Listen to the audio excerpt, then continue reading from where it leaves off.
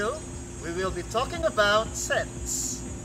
What a set is, what the basic set concepts are, and how we illustrate them.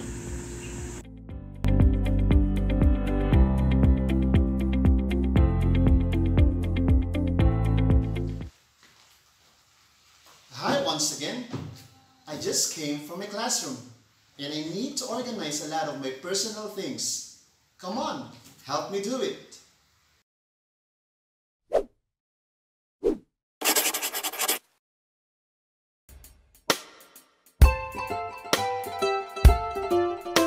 I can sort, I can sort, I can sort, sort, sort. I can put them into groups and I can sort, sort, sort. I can sort by color, I can sort by size, I can sort by shape. Any old time, I can sort, I can. I'm done sorting my things. Let's take a closer look at them. We have the fiction books, the textbooks, the awards, the erasers, the pencils, the markers, and the ball pens. In mathematics, these can be called sets. Then, what is a set? A set may be defined as a collection of well-defined objects called elements. I would like to emphasize the word well-defined. How do we know if an object is well-defined? Let's have these two groups of sets.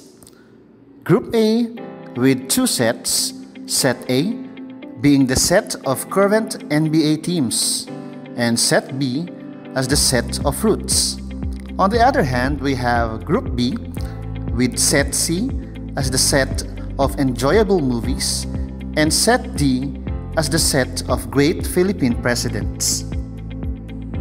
Which of these two groups have well-defined elements? Let's take a look at set A first.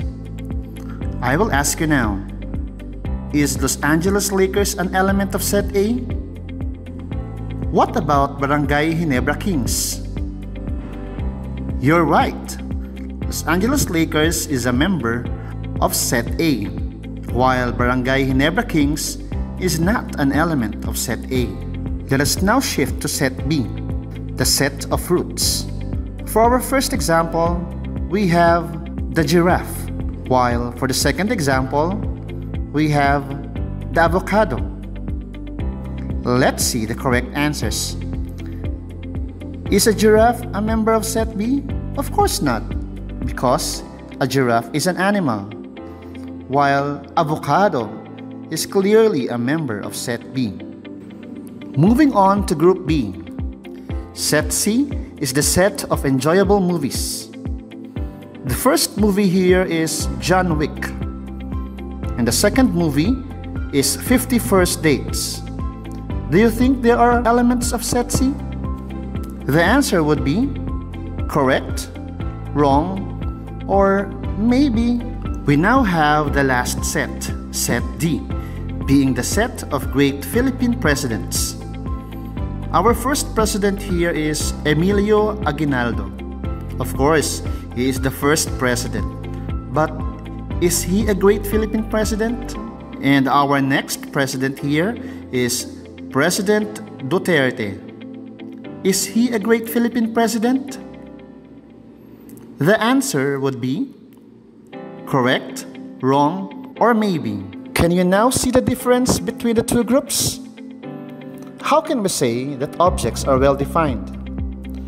If you notice, in group A, we can easily identify if an object is an element of a certain set, while in group B, it's hard to say if an object is an element of a certain set. You have to take a look at the identifiers or adjectives used. If a set uses a certain adjective, it surely is not a well-defined set. There are two ways of writing sets. The first method is called roster method. In this method, all elements are listed separately by commas. The second method is what we call the rule method or set builder notation. In this method, the elements of the set are described as 1. Here is our first example. Set A being the sets of primary colors. How do you write it in roster form? As we said a while ago, you have to indicate all the elements of the set. And we have set A containing blue, red, and yellow. For the other method, we call it rule form, here is how we write it. We read it as set of all x's such that x is a primary color. If you notice in the rule form, we use a general variable x, which represents an object in a certain set. And we also use a vertical bar, which stands for such that. Also notice the verb is. We always represent the element in the singular form. Now we have our second example. Set B as the set of multiples of 7 less than 45. In roster form, we have to list down all the elements of set B. And they are 7, 14, 21, 28, 35, and 42. And in rule form, we have to remember to use the variable x, the vertical bar which stands for such that, the linking verb is, and also we have to describe the elements of the set using the singular word multiple. Therefore, we can write set B in rule form as the set of all x's such that x is a multiple of 7 less than 45. The third basic set concept that we will discuss is cardinality. What is cardinality? Cardinality refers to the number of elements in a set. In symbol, we can use the small letter n followed by parenthesis and the name of the set inside the parentheses. Also, we could use the symbol for absolute value. To clearly understand what cardinality is, here are four sets. Set A is the set of primary colors. How many elements does this set have? The correct answer would be 3. Therefore, we will write n of A is 3. Or the cardinality of set A is 3. For the second example, set B as the set of multiples of 7 less than 45. This is the same set in the example a while ago. The cardinality of B is equal to 6 because there are six elements of this set. For the third set, we have the set of plants that bark. N of C equals 0. Of course, there are no plants that bark. For set D, we have the set of even numbers. If we try to think of it, the first even number that we can think of is 2, followed by 4, 6, 8, 10, and so on and so forth. Therefore, the cardinality of D would be equal to infinity. Based on its cardinality, a set can be classified as finite or infinite. These are the two basic set concepts that we will be discussing next along with null set. What is a finite set? From the word itself, finite, which means can be counted, a finite set is a set which has a countable or limited number of elements. Let's have these examples. Set A as the set of vowels in the Filipino alphabet. How many vowels does the Filipino alphabet have? There are five. Therefore, A is a finite set. For a second example, set B as the set of integer factors of 100. What are the integer factors of 100? They are 1, 2, 4, 5, 10, 20, 25, 50, and 100. There are nine integer factors of 100. Therefore, set B is also a finite set. The opposite of finite set is infinite set. An infinite set is a set which has a limitless number of elements, meaning the cardinality is infinity. Here we have two examples. Set C as the set of numbers between 1 and 2. Give me a number between 1 and 2. Are there more than 10? Are there more than 100? In reality, there is an infinite number of numbers between 1 and 2. Therefore, set C is an infinite set. For the second example, we have set D as the set of multiples of 10. If I ask you to write down the elements of this set, you will start with 10, followed by 20, 30, 40, 50, 60, and so on and so forth. It will go endlessly.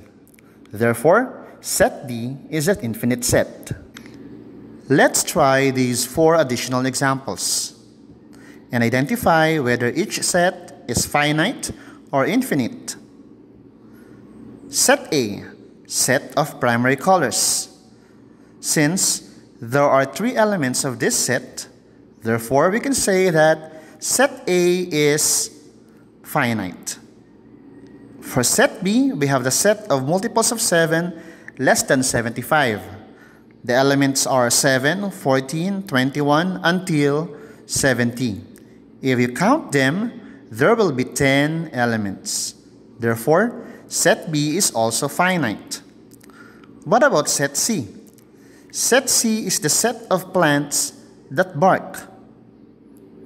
How many elements does this set have? Of course, there's none. This set is what we call a null set. A null set is a set which has zero elements. For example, we have set D as the set of months in a year which begins with the letter B. There's none. What about set E? The set of colleges and universities in Lumban. Can you give me one element of this set? there's none also. And did you know that null set is a special type of finite set? Therefore, set C can be classified as finite. Our last set here is set D, the set of even counting numbers. If we write this in roster form, the elements will be 2, 4, 6, 8, 10, 12, 14, and so on and so forth. Can we identify the last element of this set? It is impossible. It is limitless. Therefore, it is infinite. Set D is an infinite set. The last two basic set concepts that we will be covering are equal sets and equivalent sets. What is the difference between the two? Equal sets are sets which have the same elements. It means it has the same cardinality and the same actual elements. For equivalent sets, these sets refer to those which have the same cardinality only.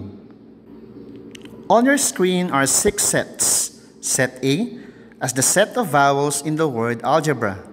Set B as the set containing 4, 3, 2, and 5. Set C is the set of all x's such that x is a month in a year. Set D as the set of positive odd numbers less than 25. Set E as the set of all x's such that x is a female Philippine president. And set F as the set containing 1, 3, 5, 7, 9, 11, 13 until 23. Can we identify which among these sets are equal and which of them are equivalent? The best way to do it is to write all of these sets in roster form. Now we're talking. All of our sets are now written in roster form. Let's try to remember the difference between equal sets and equivalent sets. From our definition, equal sets are sets which have the same cardinality and the same elements, while equivalent sets are sets which only have the same cardinality. Let's analyze. Let us focus on sets D and F. If we try to look at them, they have the same elements. Therefore, we can say that sets D and F are equal sets. What about if we include set C? Set C is the set of months in a year. Of course, they are January, February, March, until December. And its cardinality is 12. If we find the cardinality of set D, it's also 12. Therefore, they are of the same cardinality. Then we can say that sets C, D, as well as F are equivalent sets. This time we have sets A, B, and E. Set A has the elements A and E. Set B has the elements 4, 3, 2, and 5. Set E has the elements Cory Aquino and Gloria Arroyo. Let us now take a look at their cardinalities. Set A has two elements, set B has four elements, and set E has two elements. If we try to look for equal sets and equivalent sets, we'll find that sets A and E are equivalent sets because they have the same cardinality.